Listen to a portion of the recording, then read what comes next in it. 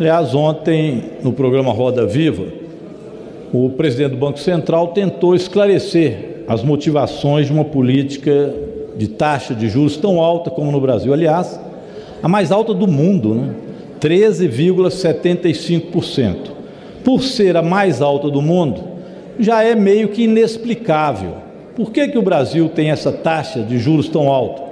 Porque o Banco Central insiste nisto, tendo uma meta de inflação bem menor e colocando, portanto, um juros real de 8,5%, o mais alto do mundo, repito. O segundo país com juros real alto é o México, que vem com 4%.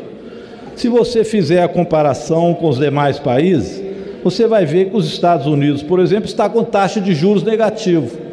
Ou seja, a inflação é maior do que a taxa de juros e fazem isso exatamente na política de retomada do desenvolvimento econômico para geração de emprego, geração de renda.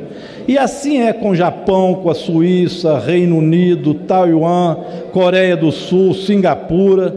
Então o Brasil está numa situação que eu diria que é impossível justificar como tentou o presidente do Banco Central.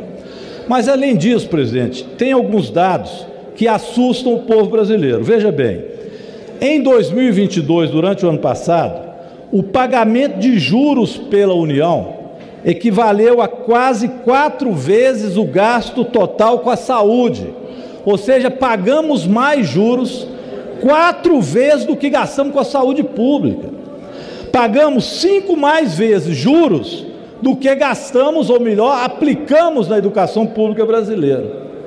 E pagamos juros, nesse, claro, nesse caso é gasto mesmo, 50% a mais do que o que foi investido nos servidores públicos brasileiros. Pompeu de Matos, isso é impossível de você pensar um país em que não pode fazer investimento público porque tem que pagar a taxa de juros. Ao mesmo tempo, impede qualquer processo de crescimento econômico. Peço a Vossa Excelência mais 30 segundos para concluir esse raciocínio. O presidente do Banco Central não pode simplesmente tentar fazer uma justificativa dessa, como tentou ontem, sem fazer uma autocrítica do procedimento desta política econômica que ele está tentando aplicar no Brasil e que não foi eleito para isso. Hoje, deputado Lindbergh está lançando aqui as bases de uma frente parlamentar contra os juros abusivos. E eu queria aqui, também em nome e do Partido dos Trabalhadores, convidar o conjunto de deputados e deputadas para que a gente possa aderir a essa frente para fazer um grande movimento nacional contra os juros abusivos, para que o Brasil retome a sua capacidade de investimento.